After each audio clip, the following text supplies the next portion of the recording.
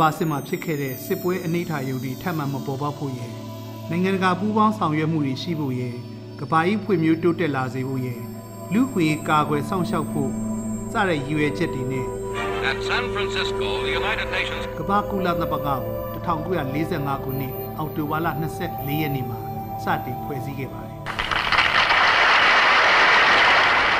နိုင်ငံတကာကစုပေါင်းဆွေးနွေးလာပြီးတော့ကုလသမဂ္ဂပြည်ညင်စာတမ်းအပိုက်68အရ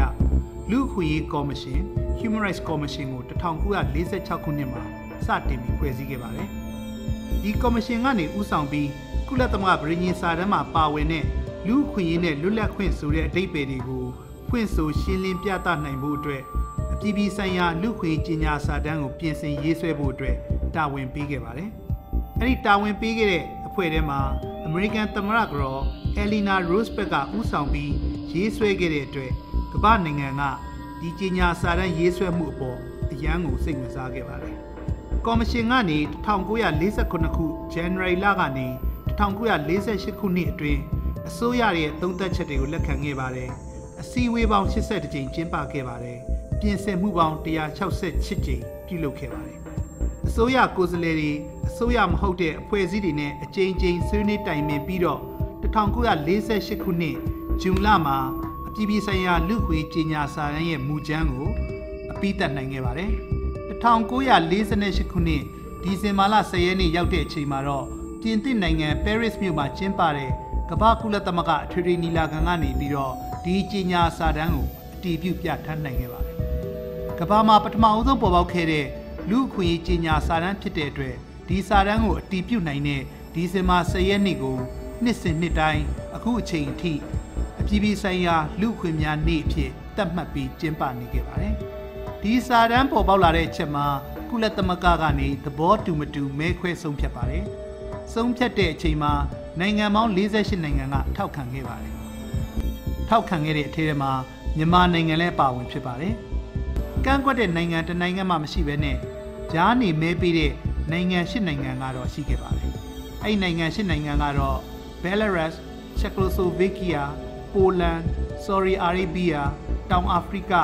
Ukraine, Soviet ပြည်ထောင်စုနဲ့ Yugoslavia စတဲ့နိုင်ငံတွေဖြစ်ပါတယ်။ဒီစာတမ်းမှာလူ့အခွင့်ဆိုင်ရာအပိုက်ပေါင်း30တိတိပါဝင်ပါတယ်ခင်ဗျ။အပိုက်1လူတိုင်းမွေးဖွားလာကတဲ့ကတူညီသောလူကုန်သိက္ခာနှင့်ခွင့်ရရှိအပိုက်2လူတိုင်းအသားရောင်လိန်ကိုးကွယ်တဲ့ဘာသာကြားမမရွေတန်းတူညီများဖြစ်သည်အပိုက်3လူတိုင်းအသက်ရှင်ခွင့်လုံခြုံခွင့်ရှိသည်အ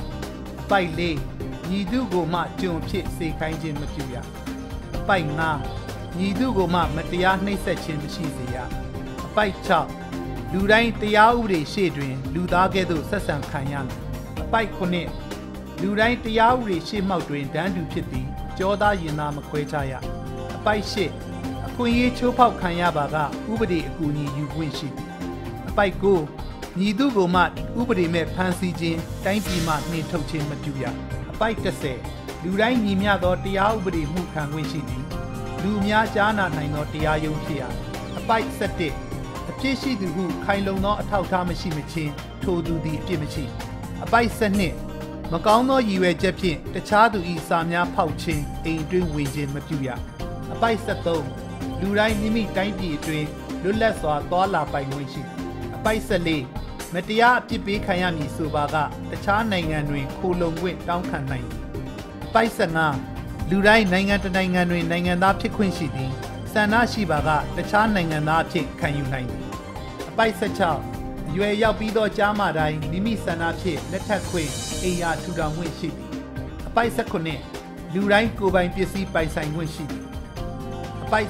18လူတိုင်းလွတ်လပ်စွာကိုးကွယ်ခွင့်ရှိသည် ဆန္ဒရှိပါကတခြားဘာသာသို့ကူးပြောင်းနိုင်သည်